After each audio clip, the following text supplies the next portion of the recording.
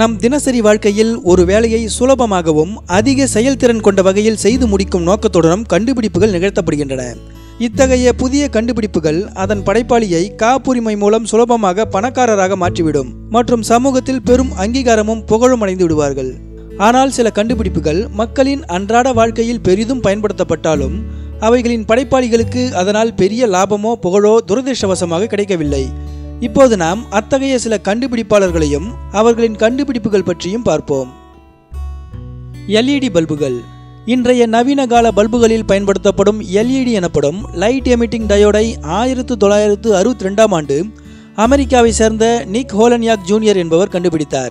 எடிசனின் பல்புகளுக்கு சரியான மாற்றாக தனது எல்இடி தொழில்நுட்பம் அமையும் என்று கருதினார். நிக் ஹோலன்யாக்கின் சக ஊழியர்கள் அவரது இந்த கண்டுபிடிப்பிற்காக அவருக்கு நோபல் பரிசு கிடைக்கக்கூடும் என்று நம்பினார்கள். ஆனால் துரதிருஷ்டவசமாக நிக் ஹோலன்யாக்கின் இந்த சிறந்த கண்டுபிடிப்புக்கு சரியான அங்கீகாரமோ அல்லது நோபல் பரிசோ கிடைக்கவில்லை. போஸ்டிட் நோட்கள். இன்று போஸ்டிட் நோட்கள் கல்வி மற்றும் அலுவலக பயன்பாட்டுக்கு அத்தியாவசியமான ஒன்றாகிவிட்டது. ஆண்டுக்கு பல பில்லியன் போஸ்டிட் நோட்கள் விற்பனையானாலும் இதனை கண்டுபிடித்த இரு நபர்களுக்கு இதனால் பெரிய அங்கீகாரமோ அல்லது பெரும் பணமோ கிடைத்துவிடவில்லை. ஆயிரத்து தொள்ளாயிரத்து அறுபத்தி எட்டாம் ஆண்டு டாக்டர் ஸ்பென்சர் சில்வர் என்ற ஆய்வாளர் வலுவான திறன் கொண்ட பசையை உருவாக்கும் முயற்சியில் ஈடுபட்டிருந்த போது தற்செயலாக குறைந்த ஒட்டுதலை கொண்ட மீண்டும் பயன்படுத்தக்கூடிய பசையை கண்டுபிடித்தார். ஆனால் இந்த பசைக்கு அப்போது பெரிதாக அங்கீகாரம் ஒன்றும் கிட்டவில்லை. பிறகு ஆயிரத்து தொள்ளாயிரத்து எழுபத்தி நான்காம் ஆண்டு ஸ்பென்சர் சில்வரின் சக ஊழியரான ஆர்த்தர் ஃப்ரை என்பவர் இந்த பசையை கொண்டு புத்தகத்தில் புக்மார்க் உருவாக்கி கொள்ளும் யோசனையை தெரிவித்தார். பிறகு பரவலாக பிரபலமடைந்த போஸ்டிட் நோட்களின் உரிமத்தை ஸ்பென்சர் சில்வர் மற்றும் ஆர்த்தர் ஃப்ரை ஆகியோர் பணியாற்றிய த்ரீ எம் எனப்படும் Minnesota mining and manufacturing company என்ற நிறுவனம் எடுத்துக்கொண்டது. AK forty seven. உலகின் பிரபல கொலை கருவியான ஏகே ஃபார்ட்டி செவன் துப்பாக்கியை கண்டுபிடித்தவர் சோவியத் படை வீரரான மைக்கேல் கலாஷ்னிகோ என்பவர் ஆவார் ஆயிரத்து தொள்ளாயிரத்து நாற்பத்தி ஒன்றாம் ஆண்டு நடைபெற்றுக் கொண்டிருந்த இரண்டாம் உலகப் போரில் காயமடைந்த மைக்கேல் கொலாஷ்னிகாவ் மருத்துவமனையில் அனுமதிக்கப்பட்டார். மருத்துவமனையில் இருந்த காலகட்டத்தில் அப்போதைய சோவியத் துப்பாக்கிகளில் எழுந்த குறைபாடுகள் காரணமாக புதிய துப்பாக்கி ஒன்றை வடிவமைக்க முடிவு செய்தார். அதுதான் ஏகே ஃபார்ட்டி செவன் என்னும் இயந்திர துப்பாக்கி. கலாஷ்னிகோவின் புதிய துப்பாக்கி வடிவமைப்பு சோவியத் இராணுவத்தால் ஏற்றுக்கொள்ளப்பட்டு ஆயிரத்து தொள்ளாயிரத்து நாற்பத்தி ஏழாம் ஆண்டு முதல் பயன்பாட்டுக்கு வந்தது. ஏகே என்பது ஆட்டோமேட்டிக் கலாஷ்னிகோ ரைஃபிள் என்பதன் சுருக்கமாகும். ஆயிரத்து தொள்ளாயிரத்து நாற்பத்தி ஏழிலிருந்து பயன்பாட்டுக்கு வந்ததால் ஏகே என்பதுடன் நாற்பத்தி ஏழு சேர்த்துக் கொள்ளப்பட்டது கலாஷ்னிகாவின் கண்டுபிடிப்பு நாட்டுக்காக அர்ப்பணிக்கப்பட்டதால் இதன் மூலம் அவர் பெரிதாக பணமோ வசதிகளோ சம்பாதிக்கவில்லை. ஹோவர் கிராஃப்ட் ஹோவர் கிராஃப்ட் என்பது ஏர் குஷன் வெஹிக்கல் அல்லது ஏசிவி எனப்படும் ஒரு வாகனமாகும். இது நிலம் நீர் சகதி ஐஸ் மற்றும் பிற பரப்புகளில் பயணிக்கக்கூடிய திறன் கொண்டது.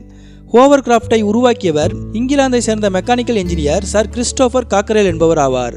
ஹோவர் கிராஃப்டின் உருவாக்கத்திற்காக தனது வாழ்நாளை செலவிட்ட கிறிஸ்டோபர் காக்கரேல் எண்ணற்ற பல பரிசோதனைகளை செய்தார்.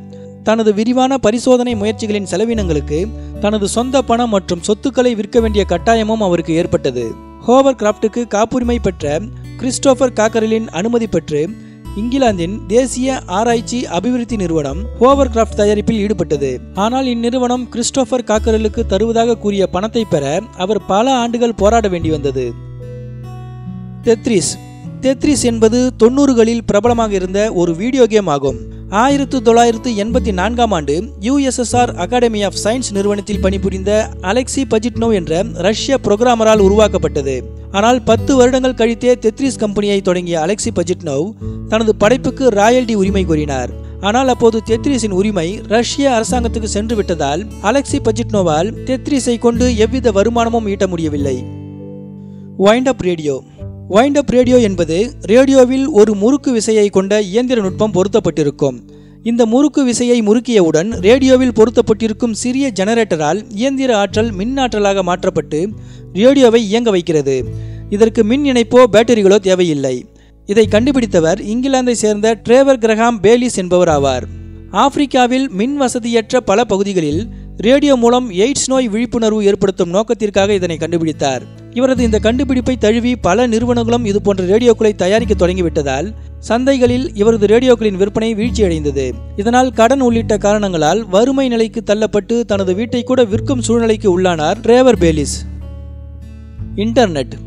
நம் தினசரி வாழ்வின் ஒவ்வொரு அம்சத்தையும் சில பட்டன் கிளிக்குகள் மூலம் எளிமையாகியவர் சர் டிம் பர்னர்ஸ்லி என்பவர். சுவிட்சர்லாந்தில் உள்ள சிஇஆர்என் எனப்படும் ஐரோப்பிய அணுசக்தி ஆராய்ச்சி ஆய்வகத்தில் பணியாற்றும் விஞ்ஞானிகளுக்கு உதவ இணையத்தை உருவாக்கியவர் இவர். முதல் இணையதளம் ஆயிரத்து தொள்ளாயிரத்து தொண்ணூற்றி ஒன்றாம் ஆண்டு சிஇஆர்என்னில் கட்டமைக்கப்பட்டு அங்கிருந்துதான் இணையம் உருவாக்கப்பட்டது. சர் டிம் பர்னர்ஸ் தனது இந்த உன்னத கண்டுபிடிப்புக்கு காப்புரிமை வாங்க மறுத்தது அவரது கண்டுபிடிப்பின் மாபெரும் வெற்றிக்கும் மற்றும் நாம் ஏராளமான இணையதளங்களை இலவசமாக பார்வையிடவும் காரணமாக அமைந்தது. பால் பாயிண்ட் பேனா. கசியும் இங்க் பெனாக்களால் வெறுப்படைந்திருந்த பலரும் பால் பாயிண்ட் பெனாக்களின் வருகையால் மகிழ்ச்சி அடைந்தனர். இதனை கண்டுபிடித்தவர் ஹங்கேரி நாட்டை சேர்ந்த லாஸ்லோ பைரோ என்பவர் ஆவார். ஆயிரத்து தொள்ளாயிரத்தி முப்பத்தி எட்டாம் ஆண்டு இதற்கு காப்புரிமை பெற்ற லாஸ்லோ ஆயிரத்து தொள்ளாயிரத்து நாற்பத்தி ஐந்தில் மார்சல் பைச் என்பவரின் பிஐசி நிறுவனத்திற்கு குறைந்த தொகைக்கு விற்றுவிட்டார். ஆனால் அதன் பிறகு பிரபலமடைந்த பால் பாயிண்ட் பேனாவின் அமோக விற்பனையால் பிஐசி நிறுவனத்திற்கு பில்லியன்களில் பணம் குவிந்தது. கம்ப்யூட்டர் மவுஸ் அமெரிக்காவை சேர்ந்த டக்ளஸ் ஏஞ்சல் பர்ட்டின் அரிய கண்டுபிடிப்பு தகுந்த நேரத்தில் அமையாததால் பெரும் பணக்காரராகும் வாய்ப்பை தவறவிட்டுவிட்டார் கம்ப்யூட்டர்களுக்கான மவுஸை கண்டுபிடித்த இவர் அதற்கான காப்புரிமையை ஆயிரத்து தொள்ளாயிரத்து அறுபத்தி எட்டாம் ஆண்டு பெற்றார். ஆனால் ஆயிரத்து தொள்ளாயிரத்து எண்பத்தி ஏழாம் ஆண்டு காப்புரிமை காலாவதியானது. அதன் பிறகே கம்ப்யூட்டர்களில் பரவலாக மவுஸ் தொழில்நுட்பம் பயன்படுத்தப்பட்டது. தீக்குச்சிகள்.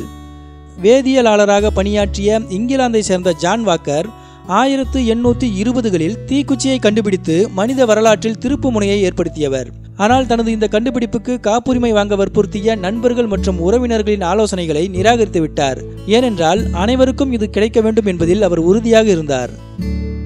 ஸ்மைலிகள் இன்று சமூக வலைதளங்களில் பெரும் பங்கு வகிக்கும் ஸ்மைலிகளை உருவாக்கியவர் அமெரிக்காவை சேர்ந்த ஓவிய கலைஞர் ஹார்வி பால் என்பவர் ஆவார். ஆயிரத்து தொள்ளாயிரத்து அறுபத்தி மூன்றாம் ஆண்டு முதன் முதலில் ஒரு இன்சூரன்ஸ் கம்பெனியின் ஊழியர்களின் மன வலிமையை அதிகரிக்கவும் மற்றும் உற்சாகப்படுத்தவும் இந்த ஸ்மைலிகளை உருவாக்கி தந்தார்.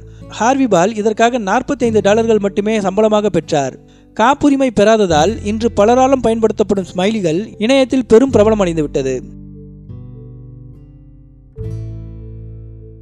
எங்கள் நிகழ்ச்சிகள் உங்களுக்கு பிடித்திருந்தால் சப்ஸ்கிரைப் செய்யுங்கள். மிகவும் பிடித்திருந்தால் உங்கள் நண்பர்களுக்கும் ஷேர் செய்யுங்கள். நன்றி வணக்கம்.